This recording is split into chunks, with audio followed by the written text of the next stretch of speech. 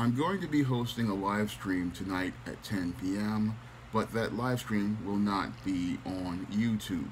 Instead, that live stream will be on my Twitch channel, and I'll leave a link to my Twitch channel for you to subscribe in the description box. I hope you'll be there at 10 p.m. for the live stream going on my Twitch channel, and I hope you'll be a part of the audience.